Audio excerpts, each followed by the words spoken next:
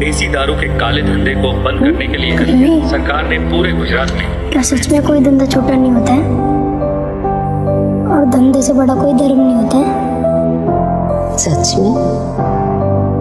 लेकिन जब तक उससे किसी का बुरा ना हो तब तक। समझा? ये इसने लूटा हमारा माल। क्या है इस बार विक्रम का प्लान? इस बार थ्रिलर का डोज है डबल। हेलो दोस्तों, मैं हूँ प्रकाश विश्वकर्मा। स्वागत है आप सभी का बॉलीग्राट स्टूडियोज में।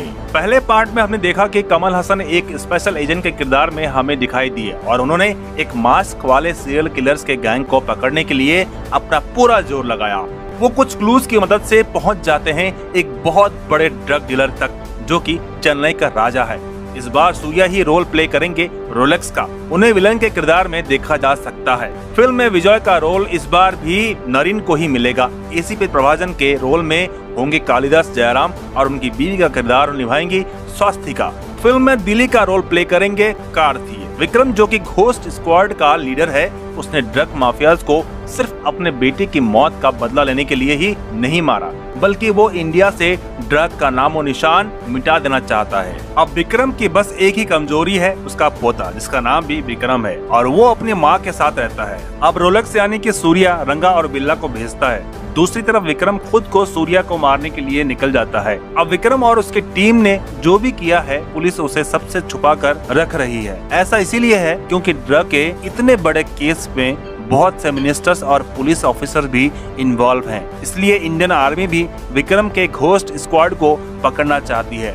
अब इस घोस्ट स्क्वाड में अब ज़्यादा लोग बचे नहीं हैं। क्योंकि लास्ट मिशन में बहुत सारे लोगों को मारा गया था। विक्रम अपनी एक नई टीम बनाने की प्लानिंग कर रहा है, क्योंकि लोग कम है और प्लान बहुत बड़ा है। इसीलिए उसको लोगों की ज़रूरत है। अब वो इंस्पेक्टर विजय को बोलता है कि वो दिल्ली को टीम ज्वाइन करने के लिए मनाए, क्योंकि विजय और दिल्ली एक दूसरे को बहुत अच्छे से जानते हैं, वो एक दूसरे से मिलते हैं, बात करते हैं, और विजय दिल्ली को स्क्वाड ज्वाइन करने को कहता है। लेकिन दिल्ली मना कर देता है, क्योंकि वो अपनी बेटी के साथ बहुत खुश है और वो वापस से इस खून खराबे की दुनिया में नहीं जाना चाहता। अब निराश विजय की बात विक्रम को बता देता है और विक्रम इस बात को समझकर आगे बढ़ जाता है। अब यहीं से सबसे बड़ा सस्पेंस है कि आखिर ऐसा क्यों हुआ और अब आगे क्या होगा। दोस्तों, आज के लिए वीडियो को करते हैं पे एंड। अगर आपको वीडियो अच्छी लगी तो लाइक, शेयर और कमेंट करना ना भूलें और चैनल को सब्सक्राइब करना ना भूलें। तब तक के लिए टाटा बाय, मिलते हैं अगले वीडियो पे।